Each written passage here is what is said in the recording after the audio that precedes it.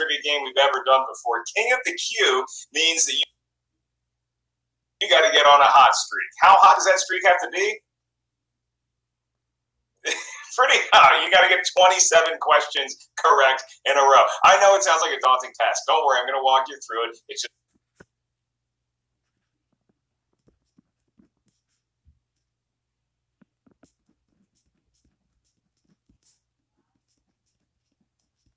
on a road trip, you like to make a lot of stops, much to your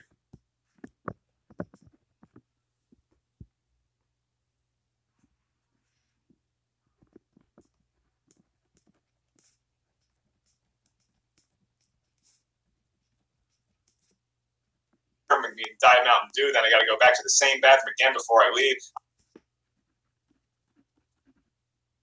To our question authors here today because we're doing King of the Q recently. We have tons of questions for asking. So big shout out to Audrey. Y'all know Audrey. She's a great uh, host of the show. She hosts the earlier match and she writes a lot of the questions, as does Andy. So Audrey and Andy, I salute you. Uh, rumor has it Andy was up at It came to her in a dream, and she woke up so inspired. She said she had to write down this question in the middle of the night. It's like yeah, that's how Keith Richards wrote the riff to Satisfaction. Is he woke up in the middle of the night and he just it hit him like a bolt of lightning, like when Doc Brown slipped on the toilet, fell, hit his head, and he drew the flux capacitor. I'm not sure which question it is, but I'm sure it's going to be just as great as all the other ones. So how do you play King of the Q? I tell you, just get questions right. That's all you got to do. But look, even if you miss a question, hang in there and keep playing. Keep answering as many correct answers as you can because every time you get a point, every time you get a question right, that gets added to your leaderboard total. Uh, the leaderboard is still going on. We got, uh, I think, 15, 16, 17 days left to get as many points as you can. At the end of that time period, whoever has the most points, you win $1,500 pretty easy, right? So, look, maybe you're not the best at trivia, but maybe the best at trivia took a couple days off. And now, look at you. You answered a lot of questions correctly. You never had a perfect round. Doesn't matter. You still might get $1,500.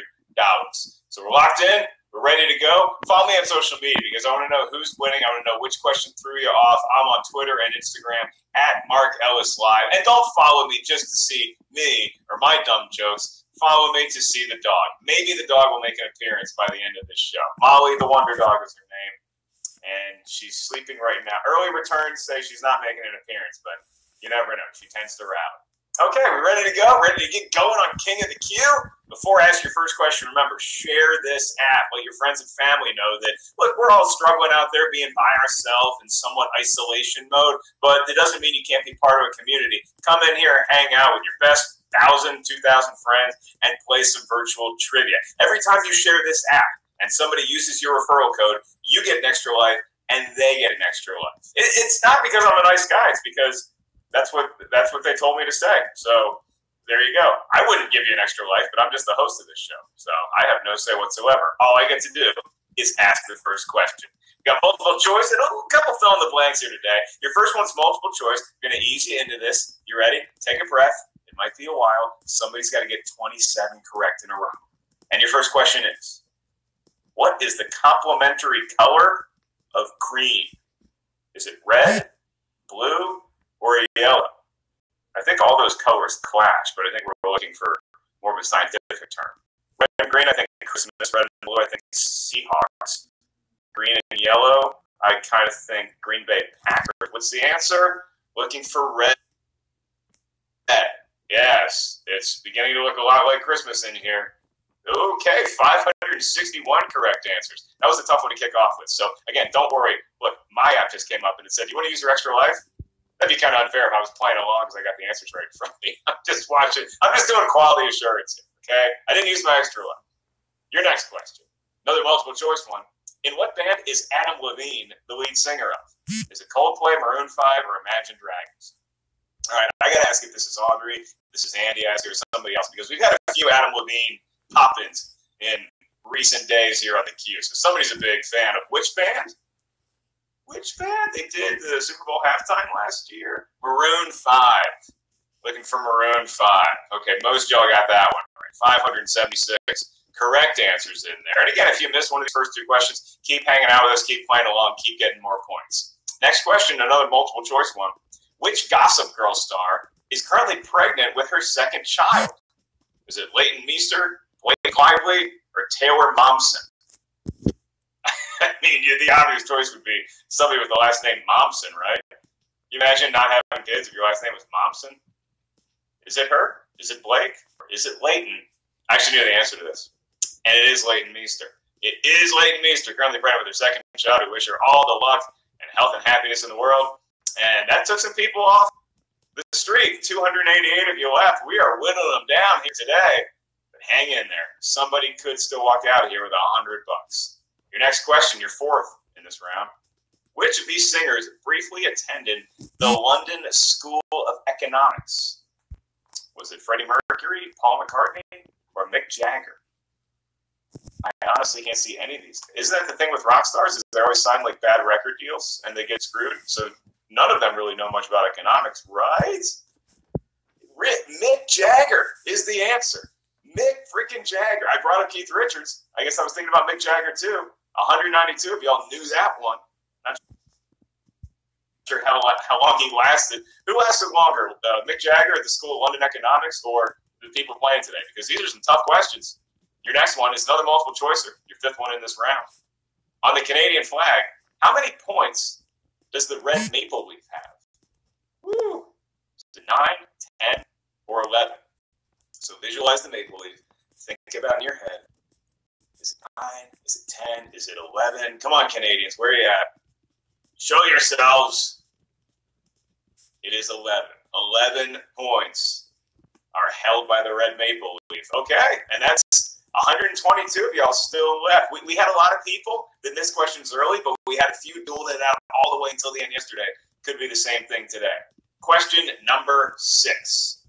In 1977, a patent was successfully obtained for which of these hairstyles?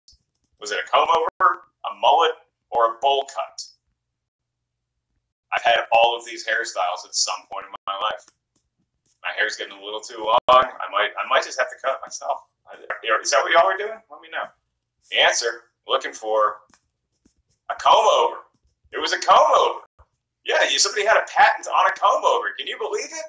I know a guy in a big White House that if there's still a patent on that, he'd be owing a lot of money. The patent has since expired, so feel free to comb over hair all you want. You don't have to pay anybody else a dime. You live you. All right, next question. Which of these mascots debuted on Kellogg's cereal along with Tony the Tiger? Was it Toucan Sam, Katie the Kangaroo, or Dolly the Dolphin?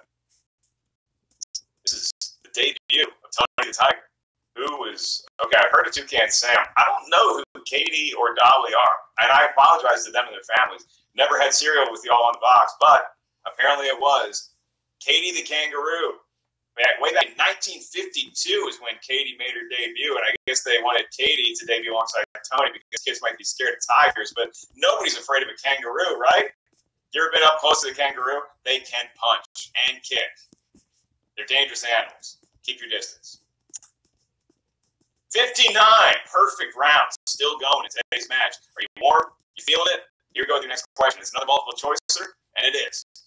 In fireworks, the color blue is created by burning compounds of what metal? Is it copper, silver, or zinc? I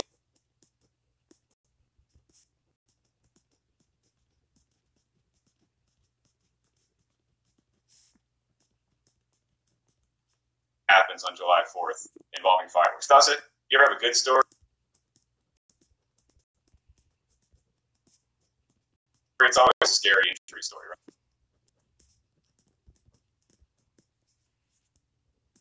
people got that one right. So we still have 60 perfect rounds.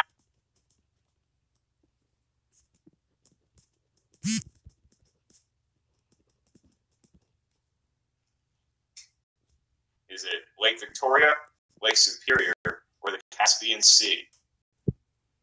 This feels like a trick.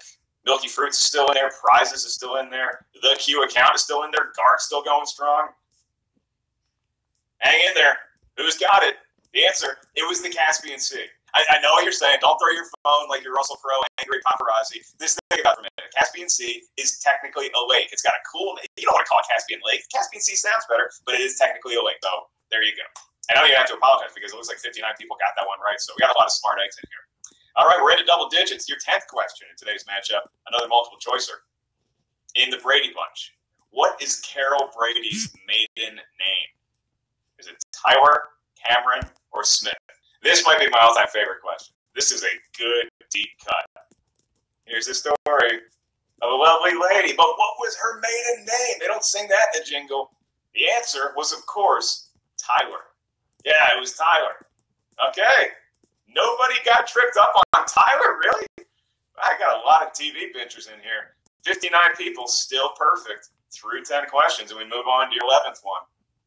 Another multiple choice. What was the first movie to be released with a PG 13 rating? Was it Ghostbusters, Red Dawn, or Indiana Jones and the Temple of Doom? Which one was it? I know the movie Gremlins played a factor in having a PG 13 rating because so many parents saw that movie, freaked out, and they said, We need our kids to be regulated. So the answer was actually Red Dawn. Yeah, starring Patrick Swayze and Charlie Sheen and these kids. They, they built a fort in the woods and they helped take over communists. It's a great movie. 56 people got that one right. So that got, okay, we're starting to whittle down to the real contenders. Even if you missed a question, keep playing. Hang in there. Maybe there's another Red Dawn question, God willing. Your next one, today's matchup, your 12th question, is a fill in the blank. So get ready to type. In the original edition of Trivial Pursuit, what category is represented by the color yellow? So remember Trivial Pursuit, you had like the little pies. I call it pies. I don't know what anybody else call it, but you put pies in the wheel. You got to get all pie slices in there, and you go to the middle. Which one was the color yellow? I'm trying to think in my head. I believe I have a guess, but I don't. Wanna, I think it was history, but I'm not sure. Let's see what we got. Was it history? I think it was history. A lot of people saying science, a lot of people saying sports. Got some entertainment ones. The answer, it was history. It was actually history. Hey, I got one right. The answer was history, and it looks like we got a total of 191 correct responses on there. So job well done, everyone. And we still have a number of competitors hanging in there for that perfect game here today, streaking towards $100. 42 perfect rounds left, and we move on to your next question. We're back to multiple choice, and that query is Which of these rock bands derives its name from The Simpsons? Is it Green Day, All Time Low, or Fall Boy? Hmm. What do we have here? Simpsons, arguably the greatest. Is it even an argument, or is it just the greatest animated show ever? I love Family Guy too. I think I got to give it to The Simpsons. And for this question, I got to give it to Fall Out Boy. Fall Out Boy is the correct answer. Mentioned on The Simpsons, 42, still perfect rounds. We got a lot of smart eggs in here. And we're going on to your next question. And that is question number 14. It's multiple choice, and it is. What TV series was the first one hour drama ever produced by HBO? Was it Sex and the City, Oz, or Six Feet Under. See, if this was still in blank, I'd be I'd be typing Sopranos, and I'd be a fool. But yeah, Sex and the City's a good one. Oz, Six Feet. They're all great shows. HBO does great work for the most part. The answer is Oz. The prison show, very very visceral, and it looks like we got some correct responses. Forty-one people still hanging in there. Okay, okay.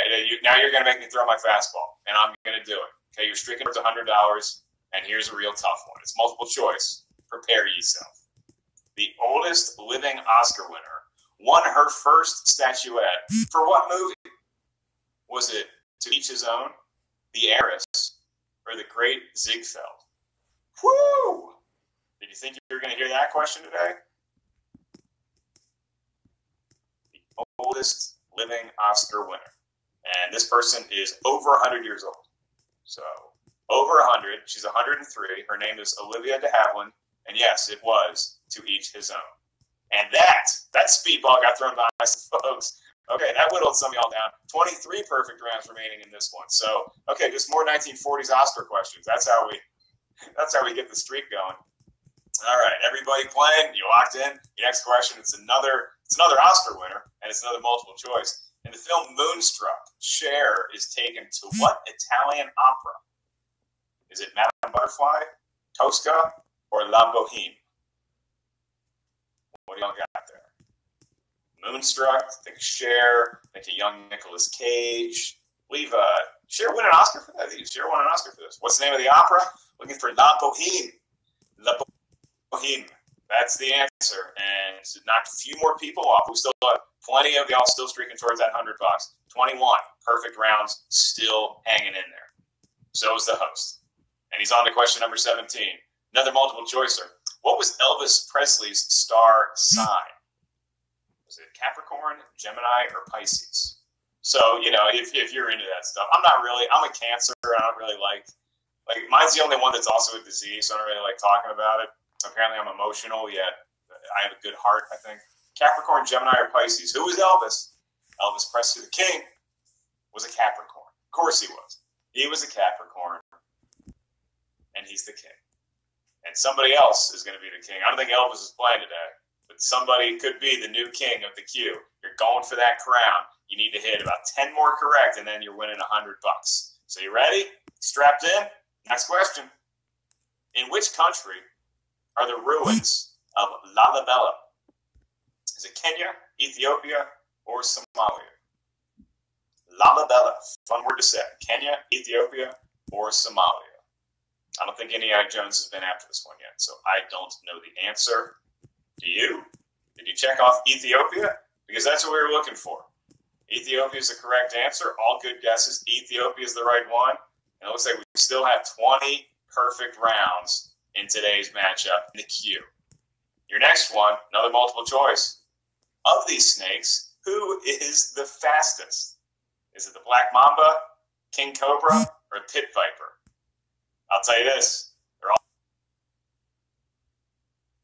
all faster than me. I don't want to be in a pit with any of them.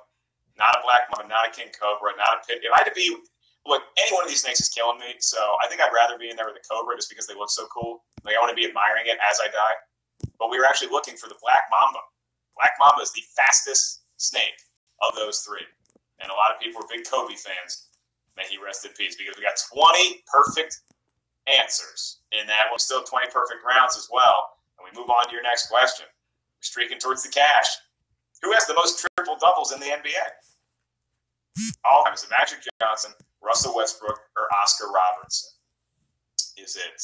Let's see. Magic is his nickname is Magic. He's Earvin Magic Johnson. Russell Westbrook. Does he have this? I think we just call him Russ. And then Oscar Robertson was known as the Big O. So who's got the most triple doubles ever? The answer is not me in my high school career. We're actually looking for the Big O from the University of Cincinnati, Oscar Robertson, and 20 perfect correct answers there. Well done, ladies and gentlemen. Still got 20 perfect rounds going. I might have been tempted to go for Russ because he's got so many currently, but the Big O is the answer. And we're already on question number 21. You're getting towards that 100 bucks. We got a multiple choice one up next. What is the most common pub name in Britain? Is it the Crown, Red Lion, or Royal Oak? Here in the States, our most popular pub name, I'm going to guess Buffalo Wild. But I, I they should have one those in Britain, right? People getting there to watch the, the football matches. The answer is, of course, Red Lion. See, I would have gone with Crown. Wow, okay. 20 perfect rounds still going here. Our next one, we're on to 22. In what year was Sydney House Opera? Was Sydney Opera House completed? I would have called it Sydney House Opera. Was it 1973, 1970, or 1968? In which year was Sydney Opera House finally completed? I don't know how long it took them to build it, but I do know the year it ended, and that was in 1973. How many? Still perfect. Still 20 perfect. We got 20 ballers in here today. If times left that are in the arena, this is getting really good. And just so you 20 know that if, uh, if you're using Google, it's considered cheating, so don't do it. okay, we're moving on to your next question. You guys are all honest in here. I don't have to reprimand anybody. Spit that gum out. You're in class. Your 23rd question in today's matchup. Which port city in Ireland is most famous for its crystal factory? Which port city is most famous for its crystal? Is it Cork, Waterford, or Belfast? Okay, somebody's got to miss this one, right? Let's see. The answer was Waterford. Who had what? What do we got? It's a it's, it's a Waterford. And we still have so many perfect rounds going. And like everybody else who's watching, keep playing, keep answering because you're getting points towards the monthly leaderboard. Fifteen hundred dollars could be at the end of the rainbow. Your next question, we got another multiple choicer. Which animal is the only known vertebrate to give birth to identical quadruplets every time? Is it pangolin, echidna, or a nine-banded armadillo? Whew. We're really, that feels like a three in the morning question. Okay.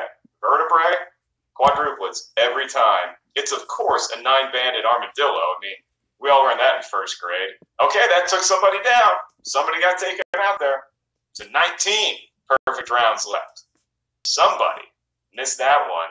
Somebody probably went for the echidna. All right, next one, another multiple choice question, and this is your 25th question. So get this one right, get the next one right, and then somebody's definitely walking out here with 100 bucks today. Okay.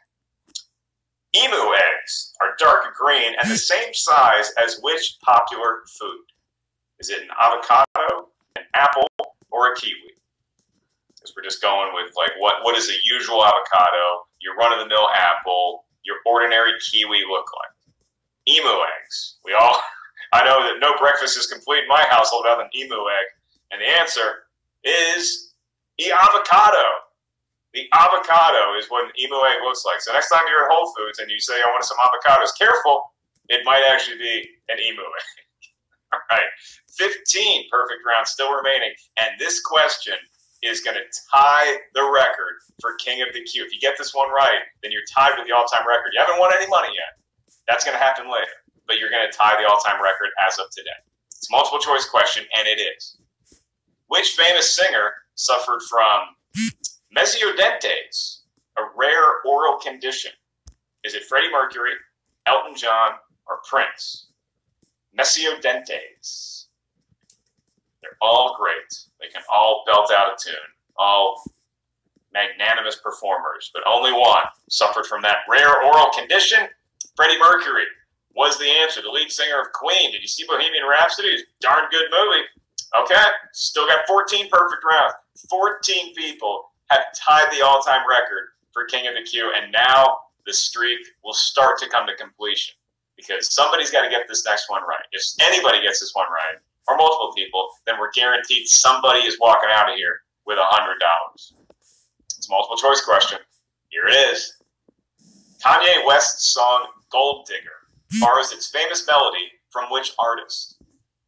Is it Quincy Jones, Ray Charles, or Aretha Franklin? All right, let's see who's still in here. Colonial 96, DJ Nicky 07, Kalisti, Got some darn good players in here today.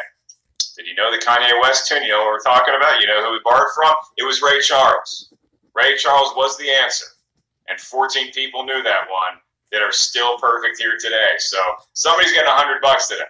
Somebody's getting $100. And if you make it a question 100, I think I get $100 too. we'll, we'll negotiate off there. Right, Molly? Hey, my dog needs to eat. Okay, your next question. Somebody's somebody's going home with hundred dollars. That's what's exciting. Twenty eighth, hit twenty eighth in this round.